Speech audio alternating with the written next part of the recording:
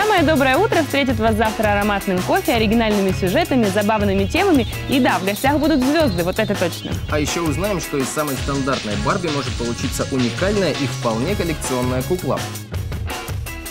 Познаем азы офисного этикета. Никогда бы не подумала, что обед на рабочем месте – это, между прочим, целая наука.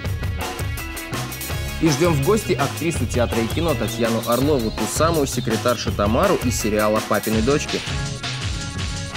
По-моему, аргументов начать свой день в компании самого доброго утра уже хоть отбавляй. Но мы-то перечислили далеко не все. Итак, будни, Первый Ярославский, самое доброе утро с 7 до 9. Не проспите.